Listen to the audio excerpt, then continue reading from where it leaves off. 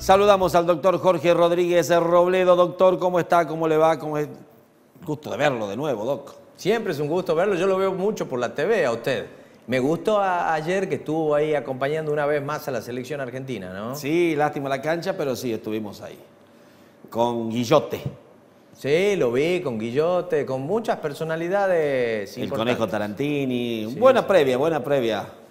Y la de Teleflash con el ingreso a la selección, algunos incidentes, la pegamos ayer, la verdad. El saludo de Messi, lo vi a Messi que saludaba. Claro, ahí, le, hicimos seña a Leonel y saludaba. Por suerte, todo bien. Lo vio y lo saludó inmediatamente usted. Tanto tiempo en todos lados te veo, me dijo.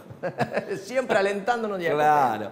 Bueno, doctor, a ver, antes de que desarrolle la columna, el pasado 17 de noviembre fue una fecha importante en el marco de la educación vial, es el día de la concientización sobre eh, las víctimas de accidentes. Como bien vos dices, a nivel mundial, el 17 de noviembre es el día en el cual se busca concientizar al usuario de la vía pública por las víctimas fatales, lamentablemente, eh, que arrojan y dejan las inobservancias a las normas de tránsito.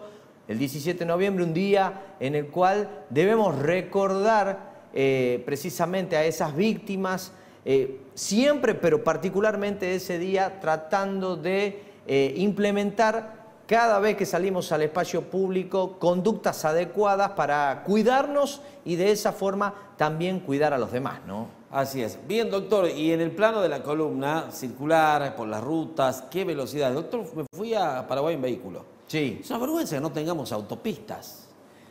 Bueno, la autopista es un camino eh, que brinda mayor eh, seguridad, es confortable también para el usuario, quien busca algún tipo de destino, eh, pero lo que tiene es la inversión que requiere que se debe eh, a los fines de eh, poder lograr esta caminería más amplia eh, para la circulación, ¿no? Algo todavía que, al menos en nuestro país, se tiene que desarrollar y ojalá quizás con los años se pueda avanzar en este sentido, ¿no? Sí, es esencial mejorar los caminos. Acá la ruta que va de Río Colorado, que pasa por Leal hasta llegar a la ruta 9, destruida, dinamitada, parecía Kosovo.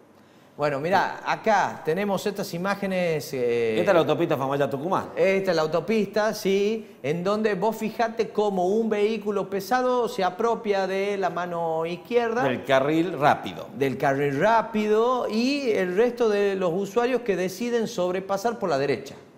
Algo que no se puede, está terminantemente prohibido. Vos fijate... Esto es de hoy, ¿no? Esto es de hoy. Por el cielo eh, encapotado. sí eh, en donde vos fijate que ni siquiera las luces de stop a ese vehículo pesado eh, se las ve reflejadas en la circulación que tiene. Y acá es importante decirle a la gente cuáles son también, Dani, las velocidades permitidas. ¿Qué velocidad puedo tomar?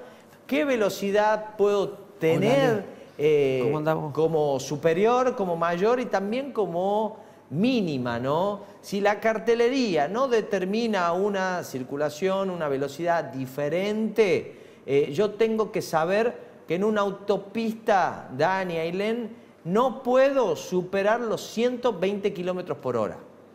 Por otro lado, si hablamos de una ruta, no puedo superar los 90 kilómetros por hora. Ahora, la velocidad mínima que puedo tener en una ruta es de 60 kilómetros por hora. No puede ser inferior a esa. Y la máxima no superior a la que estamos determinando. Teniendo en cuenta que un vehículo a más de 90 kilómetros por hora se vuelve ingobernable, por más tecnología que tenga el vehículo y caminos modernos que se puedan encontrar, es ingobernable el vehículo. Y si a eso, a Ailén, lo trasladamos a la zona urbana, a la ciudad, las avenidas no pueden ser superadas en 60 kilómetros por hora. En la ciudad no más de 40 kilómetros por hora. Y en el casco histórico de las ciudades, en donde también encontremos establecimientos educativos, hospitales, centros de atención primaria, como son los CAPS, eh, tenemos que bajar la velocidad, Ailén, y no se pueden superar los 20 kilómetros por hora. Velocidades que están determinadas por la Ley Nacional de Tránsito 24449, modificada por la 26363. Y acá eh, lo importante es, si yo me cuido, Ailén, promuevo seguridad para el resto de los usuarios de la vía pública, ¿no? Qué importante, doctor, lo que menciona, porque justamente eh, cuando mencionó sobre las escuelas, eh, me acordé de una de las escuelas que está ubicada en Famaya sobre la ruta, que es sobre la ruta 38, la ex 38, que es bastante peligrosa, bastante circulada y que justamente hay un establecimiento educativo donde tuvieron que colocar eh, lomos de burro para que puedan bajar la velocidad de los que van circulando por ahí. Vos fijate, ¿no?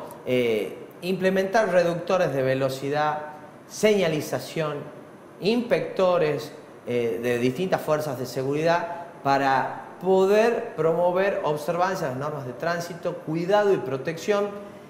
Nosotros cuando tomamos la conducción de un vehículo estamos manipulando un arma. Tenemos en nuestras manos un arma que puede dañar y hasta quitarle la vida a una persona. Por eso la importancia de entender la responsabilidad que conlleva tomar la conducción de un vehículo y que los valores cívicos de una persona también son los que se ven reflejados en la conducta que tenemos en eh, el espacio público. ¿no? Muy bien, doctor. Perfecto. Muchísimas gracias. Por favor, gracias a vos, Dani, Ailén. Recordamos que. Y hoy la invitación, 21 y 30 horas aquí en casa, Abogados en Acción, con grandes invitados para hablar de distintos temas de interés general. Está Luli hoy, la psicóloga Luciana Fernández Morales va a estar también con nosotros. Así que eh, la invitación está hecha hoy 21 y 30 horas aquí en casa y la próxima semana en el informativo con ustedes compartiendo si Dios quiere. Gracias.